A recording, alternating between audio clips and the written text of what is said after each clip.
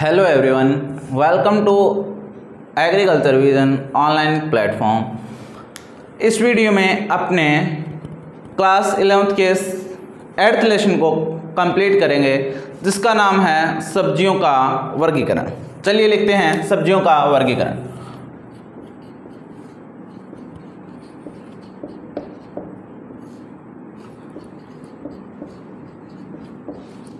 सब्जियों का वर्गीकरण। क्या होता है सब्जियों का वर्गीकरण? वो अपने पढ़ लिया था। अपने पढ़ रहे थे गृह वाटिका और कॉमर्शियल पर्पज से सब्जियों की खेती, व्यवसायिक स्तर पर सब्जियों की खेती। ये दो टॉपिक अपने को इस वीडियो में कवर करने हैं। सबसे पहले अपने देखते हैं गृह वाटिका। एक नंबर।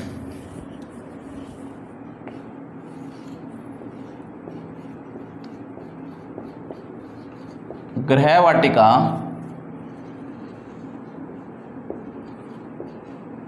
सत्तर पर।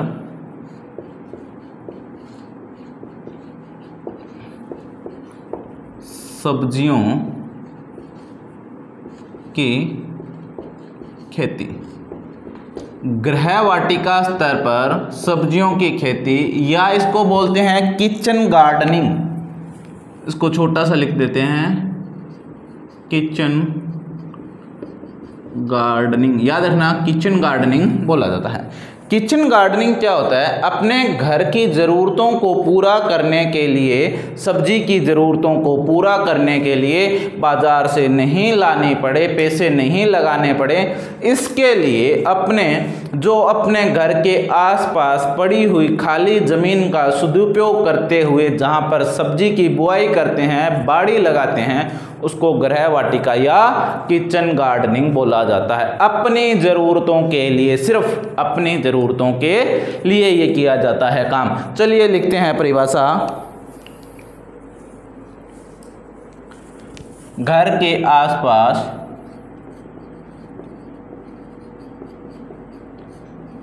आसपास पड़ी हुई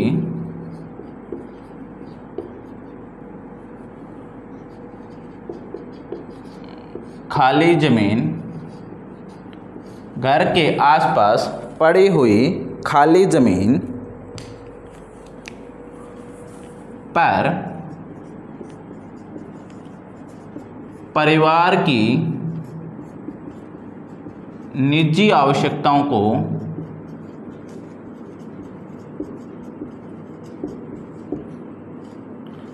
आवश्यकताओं को पूरा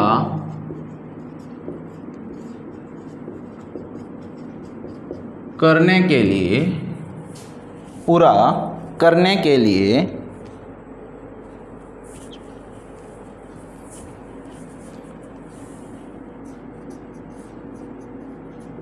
सब्ज़ियाँ उगाना। गृह वाटिका कहलाता है। गृह वाटिका कहलाता है। घर की ज़रूरतों को पूरा करने के लिए घर के आसपास पड़ी हुई खाली ज़मीन को उपयोग करना गृह वाटिका कहलाता है। इसके बाद अपने बात करते हैं गृह वाटिका के लाभ। देखिए, बहुत अच्छा टॉपिक है, ग्रह वाटिका के लाभ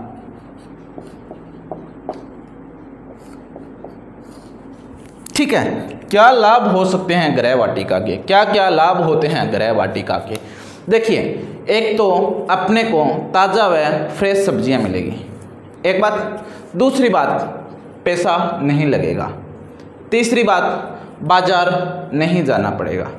चौथी बात, आराम से अपना टाइम पास हो सकता है। सब्जियों को लगाने के लिए, उसमें निराई गुड़ाई करने के लिए, पानी देने के लिए कुछ उसमें घूम सकते हैं। तो घर में सभी सदस्यों का टाइम पास भी हो जाता है सब सब्ज़ियाँ मिलती है, पैसे भी नहीं लगते और बाज़ार जाने में समय की भी बचत होती है और खाली पड़ी ज़मीन का भी सदुपयोग हो जाता है।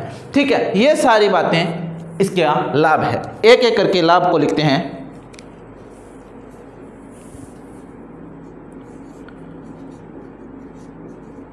परिवार के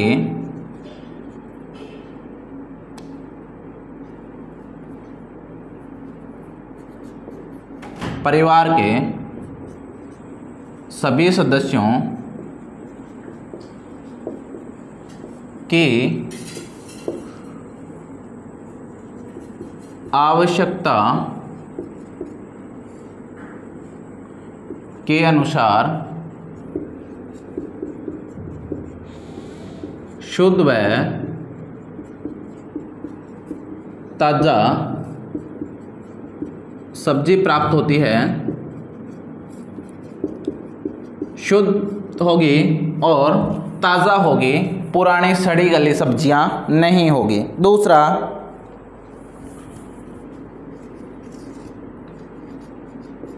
घरों के चारों ओर पड़ी खाली भूमि का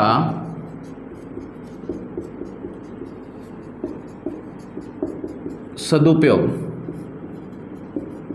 होता है। खाली पड़ी हुई भूमि का सदुपयोग हो जाएगा। तीसरा पॉइंट अपने देखते हैं।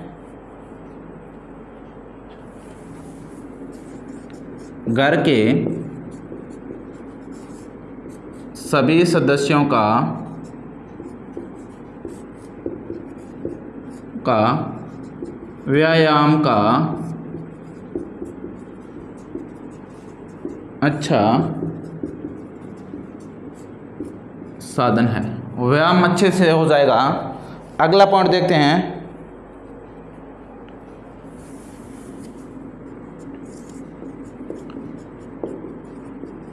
रसोईघर व स्नानघर के पानी का सदुपयोग। मतलब नहाने वाला व रसोई में बर्तन साफ़ करने का जो पानी होगा, उसका सदुपयोग होता है। उसका क्या हो जाएगा? सदुपयोग हो जाता है। इसके बाद में पांचवा, वह कूड़े करकट का भी सदुपयोग होता है। उसके बाद में ग्रह वाटिका मनोरंजन टाइम पास का साधन है। ग्रह वाटिका क्या है? मनोरंजन का साधन है। छठी बात करते हैं।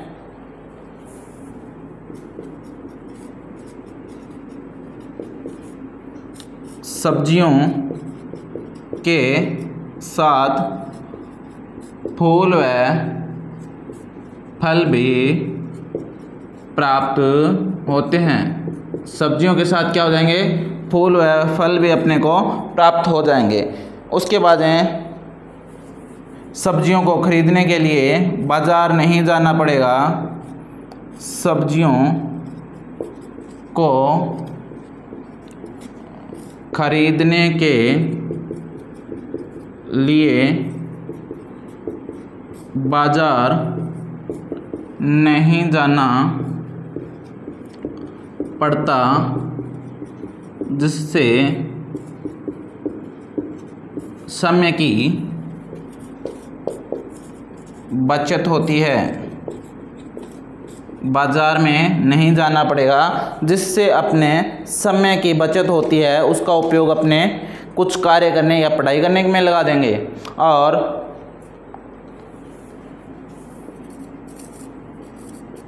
बाज़ार की तुलना में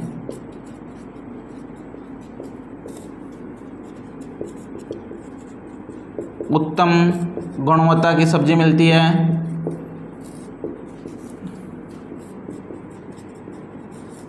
सब्ज़ी मिलती है। ठीक है, कि पेस्टिसाइड वगैरह का यूज़ नहीं किया जा सकता।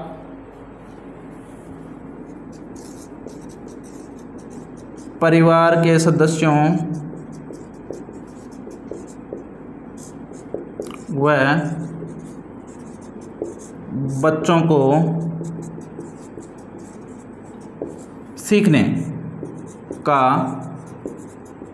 अवसर मिलता है। मतलब कुछ चीज़ें अपने को सीखने के लिए मिलती है। उसके बाद में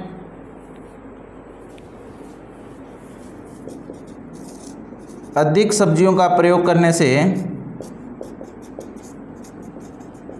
यानी सब्ज़ियाँ ज़्यादा खाएँगे,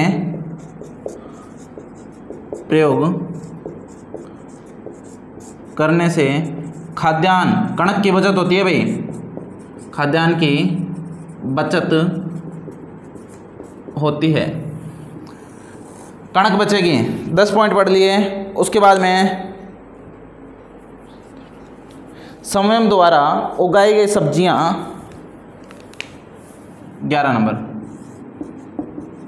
समय द्वारा मान्य बना लेते ना, मैंने उगाई है तो बहुत अच्छी है, स्वादिष्ट है। समय द्वारा उगाई गई सब्ज़ियाँ मनो वैज्ञानिक रूप से स्वादिष्ट होती है।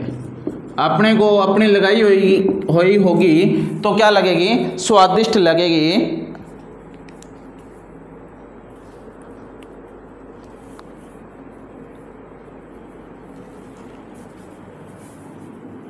सब्जियों के सब्जियों के क्रय करने, न करने से। सब्जियों के क्रय न करने से पैसों की मतलब रुपयों की बचत होती है, जिससे जिससे परिवार की आय बढ़ती है। ठीक है? उसके बाद अपने बात करते हैं। परिवार की आय बढ़ती है। तेरवा। घर के आसपास का, घर के आसपास का वातावरण सौंदर्यपूर्ण होता है। सुंदर दिखने लग जाता है। घर के आसपास का वातावरण, यदि सब्ज़ियाँ, फूल व फल लगाए होंगे। अंतिम सबसे बड़ा फ़ायदा। गृह वाटिका की सब्जियों में कीटनाशक व रोगनाशक व उर्वरकों का प्रयोग नहीं होता या सीमित होता है। यानी कि उपयोग कम ही किया होगा, इसलिए वो क्या होती है? अच्छी होती है। जल्दी से इसको नोट डाउन कीजिए, वरना वीडियो को पॉज कर स्क्रीनशॉट लीजिए। हाँ जी। गृह वाटिका के बारे में पढ़ा था कि क्या गृह वाटिका होती है और इसके क्या लाभ होते हैं। अब ग्रह वाटिका को बनाया कैसे जाता है? ये भी तो बड़ी समस्या की बात है। तो गृह वाटिका का अभिविन्यास लिखते हैं। ग्रह वाटिका का अभिविन्यास। लेआउट। अभिविन्यास को बोलते हैं लेआउट। लेआउट। ठीक है? तो जब जब अपना परिवार होता है ना, पाँच से छः सदस्यों का तो उसके लिए 25 इंटू दस मीटर का स्थान इनफ रहता है, पर्याप्त रहता है सब्जियों के लिए। लिखते हैं इस बात को। एक औस्त परिवार मतलब पाँच से छः सदस्यों को एक औस्त परिवार कोष्टक में पाँच से छः सदस्यों परिवार को पा एक औस्त परिवार को वर्ष भर सब्ज़ी, एक औस्त परिवार को वर्ष भर सब्ज़ी प्राप्त करने के लिए सब्ज़ी प्राप्त करने के लिए 25 इंटू दस मीटर का क्षेत्रफल पर्याप्त रहता है। यह क्षेत्रफल बहुत होगा उनको। 25 इंटू दस। मीटर का क्षेत्रफल पर्याप्त रहता है। ग्रह वाटिका को, का लेआउट करते समय निम्नलिखित बातों का ध्यान रखना चाहिए।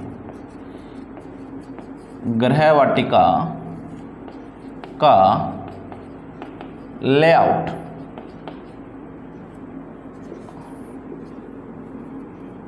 ले आउट करते समय निम्नलिखित बातों का ध्यान रखना चाहिए। कौन कौन सी वो बातें हैं जिनका अपने को लेआउट करते समय ध्यान में रखना चाहिए? एक एक करके अपने पढ़ते हैं। सबसे पहले कौन सी बात का ध्यान रखना चाहिए? पहला गृह वाटिका या किचन गार्डनिंग घर के समीप होना चाहिए। गृह वाटिका घर के नज़दीक होना चाहिए। सर, घर के नज़दीक क्यों होना चाहिए? जिससे खाली समय में परिवार के सभी सदस्य उसकी देखभाल कर सकते हैं। जिससे खाली समय में परिवार के सभी सदस्य देखभाल कर सकते हैं। यानी कि सारे जो घर के घर वाले हैं, वो इसकी आराम से देखभाल कर सकते हैं खाली समय में। दूर होगा, थोड़ी दूर होगा घर से तो मेरे जैसा आलस कर जाएगा। कौन जाएगा उतनी दूर? है ना? इतने दूर जाऊँगा, वापस आऊँगा, इतने में टाइम वेस्ट होगा तो वो नहीं जाएगा। ठीक है, इसलिए घर के नज़दीक होना चाहिए। दूसरी बात अपने पढ़ते हैं।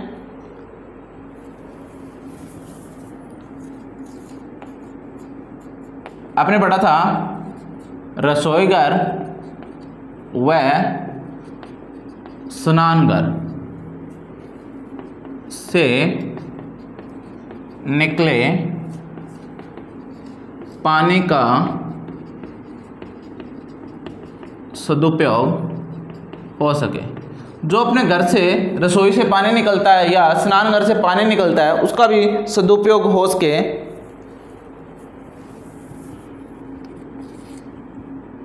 भूमि को भूमि को उपजाऊ बनाने के लिए उपजाऊ बनाने के लिए जैविक खाद का उपयोग करना चाहिए। भूमि को यदि उपजाऊ बनाना है तो कार्बनिक खाद का, जैविक खाद का उपयोग करना चाहिए। खाद का उपयोग करना चाहिए उर्वरक का नहीं करना चाहिए। फ़सल चक्र के सिद्धांतों की पालना करनी चाहिए।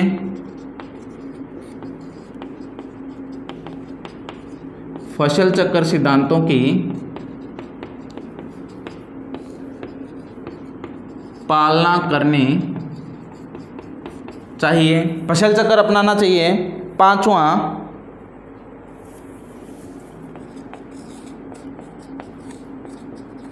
सब्जियों की बुआई।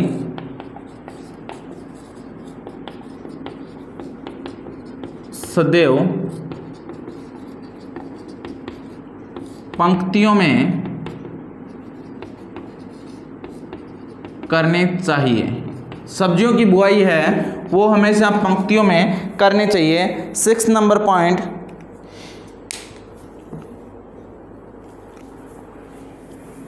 ग्रीष्म ऋतु में, ग्रीष्म ऋतु में बाढ़ के पास बैल वाली बैल वाली सब्ज़ी लगानी चाहिए। क्यों लगानी चाहिए? क्योंकि बाढ़ पर बैलों को चढ़ा देंगे तो क्या होगा कि एक ओट आ जाएगी, गर्म हवाएँ अर्थात लू सब्जियों को प्रभावित नहीं करेगी। सातवां।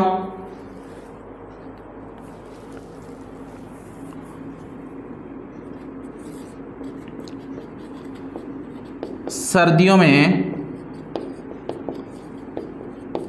बाढ़ के पास मटर लगाने चाहिए। सर्दियों में बाढ़ के पास मटर लगाने चाहिए। आठवां पॉइंट की अपने बात करते हैं। जड़ वाली सब्जियों को मौसम के अनुसार मेड़ों पर ही लगाने चाहिए। डोलियों पर लगानी चाहिए जड़ वाली सब्जियों को, क्योंकि जड़ उनकी ज़्यादा गहरी जा सके नवा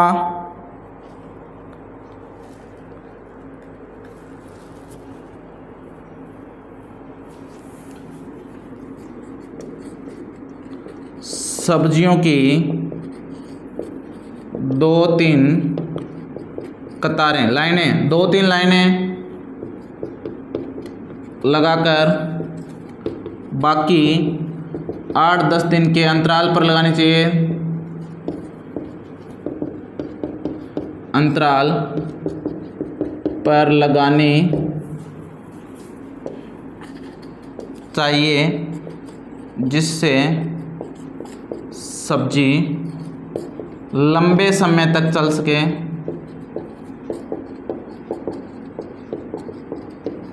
यानी कि कोई फ़सल की अपने, कोई सब्ज़ी की दो लाइनें लगा दी या तीन लाइनें लगा दी, उसके बाद में ऐसे नहीं हो, जो भी अपने आठ दस लाइनें लगानी वो एक ही दिन में लगा दें। आठ दस दिन रुक जाए, फिर वो लगा दें, फिर दो लाइनें और लगा दें, फिर दो लाइनें और लगा दें। ऐसे तीन या चार स्टेप में अपने को सब्ज़ियाँ लगानी चाहिए, जिससे सब्ज़ी को लंबे समय तक अपने चला सकते हैं। दसवां पॉइंट लंबी अवधि. लंबी अवधि की फ़सलों के मध्य कम अवधि की फ़सलों को लगाना चाहिए। जैसे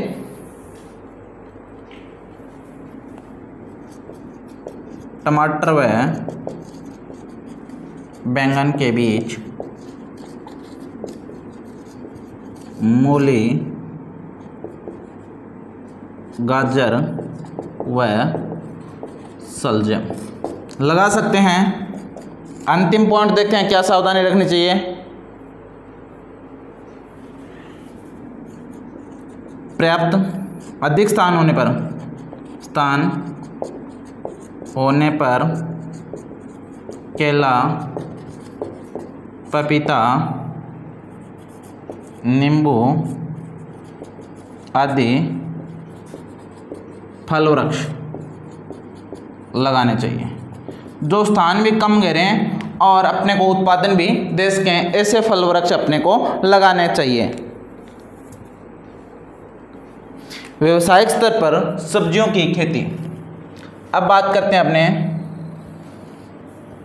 दो नंबर। एक नंबर था गृह वाटिका, दो नंबर है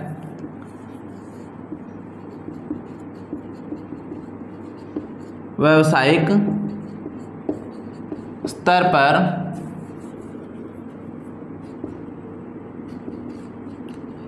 सब्जियों की खेती। ठीक है? व्यवसायिक स्तर पर सब्जियों की खेती क्या होती है? इससे खेती बड़े स्केल पर की जाती है, बड़े पैमाने पर की जाती है और इसका जो मुख्य उद्देश्य होता है, वो पैसे कमाना होता है दो प्रकार की होती है ट्रक गार्डनिंग और मार्केट गार्डनिंग इसको डिटेल से अपने अगली वीडियो में पढ़ेंगे। थोड़ा सा पढ़ लेते हैं कि क्या होता है व्यवसायिक स्तर पर खेती।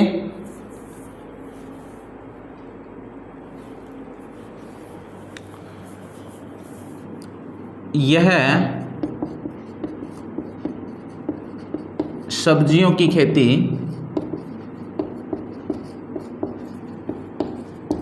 बड़े पैमाने पर की जाती है तथा इसका मुख्य उद्देश्य पैसा कमाना होता है। इससे प्राप्त उत्पादन को उत्पादन को लोकल मतलब हम्म, स्थानीय स्थानीय या दूरस्थ बाज़ारों में भेजा जाता है। है। इस आधार पर यह दो प्रकार की होती है, जो निम्नानुसार है। सबसे पहला आता है ट्रक गार्डनिंग और दूसरा आता है मार्केट गार्डनिंग ठीक है? ट्रक गार्डनिंग और मार्केट गार्डनिंग। अभी अपने पढ़ेंगे कि ट्रक गार्डनिंग क्या होता है और मार्केट गार्डनिंग क्या होता है। जल्दी से इसको नोट कीजिए, वरना स्क्रीनशॉट ले लीजिए। हाँ जी, अपने बात कर रहे थे व्यवसायिक स्तर पर सब्जियों की खेती। पहला अपने पढ़ेंगे मार्केट गार्डनिंग, दूसरा पढ़ेंगे ट्रक गार्डनिंग। सबसे पहले मार्केट गार्डनिंग ठीक है? मार्केट गार्डनिंग क्या होता है? मार्केट मतलब मार्केट बाज़ार बाज़ार में ये सब्ज़ियाँ बेची जाती हैं तो ट्रक गार्डनिंग वाली कहाँ खेतों में बेची जाती है? सब्ज़ियाँ तो दोनों बेटा बाज़ार में ही बेची जाएगी।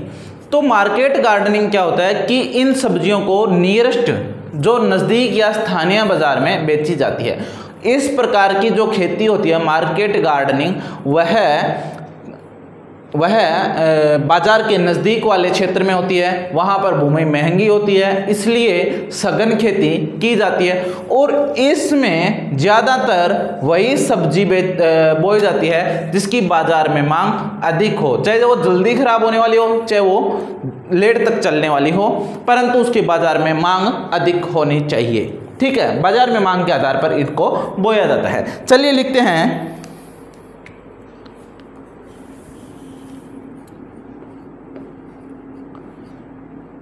इससे उत्पादित सब्ज़ियाँ स्थानीय बाज़ार में बेची जाती है तथा बाज़ार मांग के आधार पर सब्जियों की खेती की जाती है। जितनी बाज़ार की मांग होगी, उसी के आधार पर सब्जियों की खेती की जाती है। यह भूमि बाज़ार के नज़दीक होने के कारण महँगी होती है। इसलिए यहाँ सघन खेती की जाती है। यहाँ पे कौन सी खेती की जाती है? सघन खेती मतलब बहुत ज़्यादा फ़सलें सघन रूप से ले जाती है। इसलिए यह श्रम प्रधान खेती है। तो श्रम क्या मेहनत ज़्यादा करनी पड़ेगी? इसलिए यह श्रम प्रधान खेती है। तो मेहनत अपने को क्या होगी? ज़्यादा करनी पड़ेगी। इसके बाद में अपने बात करते हैं कि इसमें विशेष रूप से फूल गोभी पत्ता गोभी गाजर, टमाटर, पालक, मेथी, इसमें मुख्य रूप से गाजर टमाटर पत्ता गोभी फूल गोभी आवाज़ आ रही है ना? सेंधी सेंधी जानी पहचानी। पालक मेथी। पालक है मेथी है।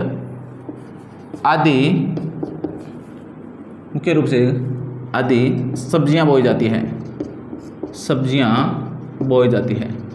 ठीक है? पालक है, मेथी है, मटर है, गाजर है, आलू है, हैं? ये नहीं हो, आलू नहीं होता इसमें। ठीक है? तो आधुनिक मार्केट गार्डनिंग की विशेषताएँ। आधुनिक मार्केट गार्डनिंग की विशेषताएँ। आधुनिक गार्डनिंग की क्या क्या विशेषताएँ हैं, इनको अपने पढ़ते हैं। तो देखिए, आधुनिक गार्डन की विशेषताएँ होती है कि यहाँ की फार्म जो होती है, भूमि अधिक महँगी होती है। पहली, इन फार्मों की भूमि अधिक महँगी होती है। इन फार्मों की भूमि क्या होगी? अधिक महँगी होगी। दूसरी बात अपने करते हैं।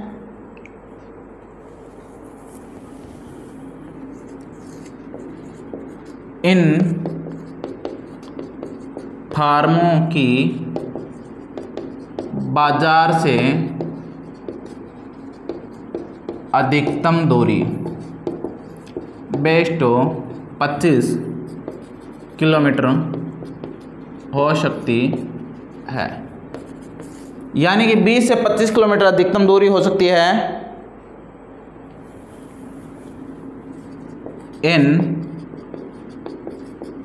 फार्मों का क्षेत्रफल सीमित होता है। छोटा क्षेत्रफल होगा क्योंकि भूमि महँगी होगी तो अपने ज़्यादा खरीद नहीं सकते। चौथा,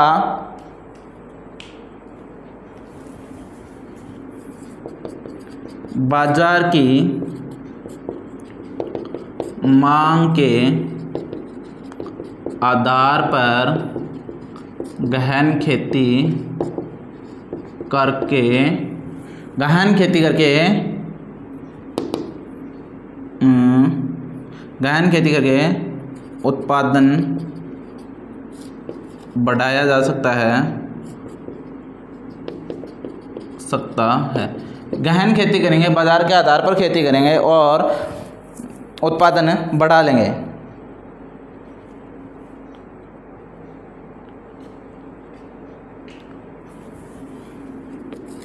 इन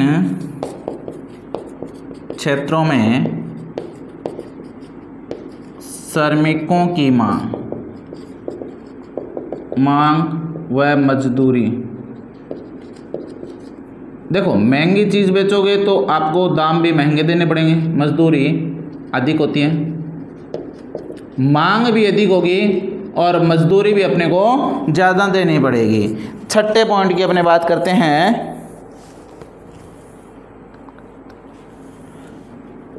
इन फार्मों पर नवीनतम कृषि तकनीक अपनाई जाती है। इन फार्मों पर नई कृषि जो तकनीक होगी, उनको अपनाया जाएगा।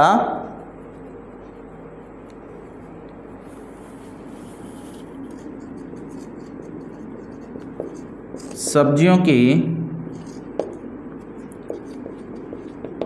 तुड़ाई, प्राय सुबह के समय करके ताज़ा सब्ज़ियाँ सब्ज़ियाँ बाज़ार में भेजी जाती हैं।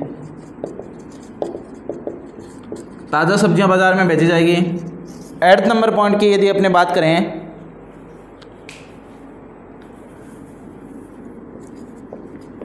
इन फार्मों पर सिंचाई के साधन कम होते हैं। ठीक है? और अंतिम पॉइंट की यदि बात करें, सब्जियों के परिवहन पर, सब्जियों के परिवहन पर कम खर्च लगता है। खर्चा क्या होगा? कम होगा। अब दूसरा अपने यदि बात करें तो truck gardening.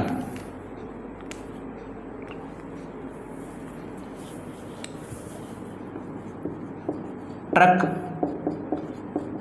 gardening. Truck gardening क्या होता है कि इसमें ट्रकों में भरकर सब्जियों को खेत से बाज़ार तक पहुँचाया जाता है। ट्रकों में भरने की अपने को क्या ज़रूरत पड़ी? कि ये खेत बहुत ज़्यादा दूर होते हैं बाज़ार से तो इनको एक साथ ट्रकों में भरकर लाया जाता है बाज़ार में। ट्रक जो शब्द है, वो फ्रेंच भाषा के ट्रक्टर से लिया गया है। लिखते हैं,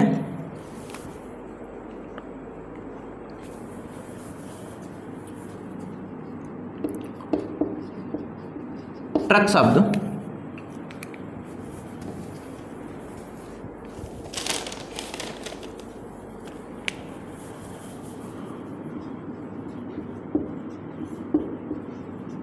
फ्रेंच भाषा के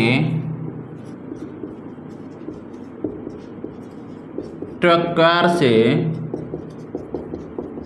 लिया गया है। ठीक है? इससे लिया गया है, जिसका अर्थ होता है बांटना या अदला बदली करना, जिसका अर्थ बांटना या अदला बदली करना होता है।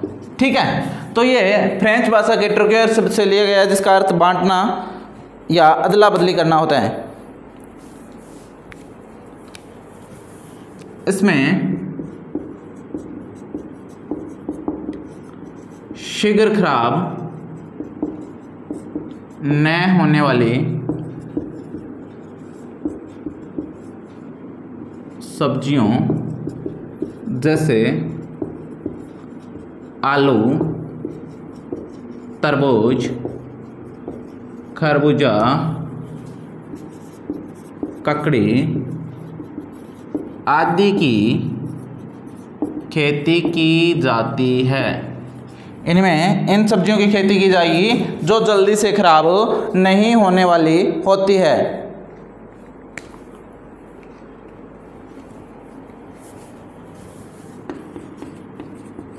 ट्रक गार्डनिंग में सब्जियों को दूर तक बाज़ार में वितरण हेतु भेजी जाती है। ठीक है, इनको दूर तक बाज़ार में वितरण हेतु भेजी जाएगी। इनकी विशेषताएँ। ट्रक गार्डनिंग की मुख्य कौन कौन सी विशेषताएँ होती है? ट्रक गार्डनिंग की विशेषताएँ क्या क्या विशेषता होती है? सबसे पहले यदि अपनी बात करें, विशेषताओं की,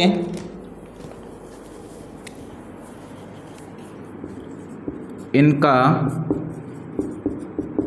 क्षेत्रफल विस्तृत या बड़ा होता है। सीमित नहीं होता। भूमि की कीमत कम होती है। भूमि की कीमत क्या होगी? कम होगी। तीसरा पॉइंट बात करते हैं। यह बाज़ार से अधिक दूरी पर होते हैं। इनमें परिवहन खर्च कम होता है अधिक होता है। अधिक होता है। परिवहन पर अपने खर्च ज़्यादा करना पड़ेगा। उसके बाद में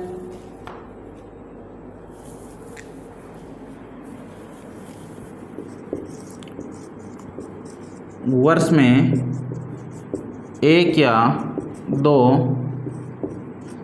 फ़सलें ही ली जाती है। छठा, सब्जियों को शाम के समय तोड़कर बाज़ार में बेचा जाता है। शाम के समय तोड़ी जाएगी और बाज़ार में भेजी जाएगी।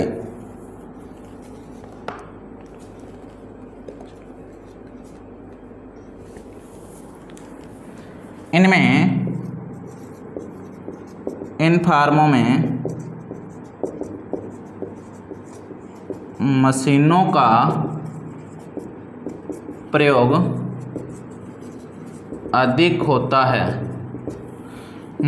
आठवां। इनमें शीघ्रता से खराब नहीं होने वाली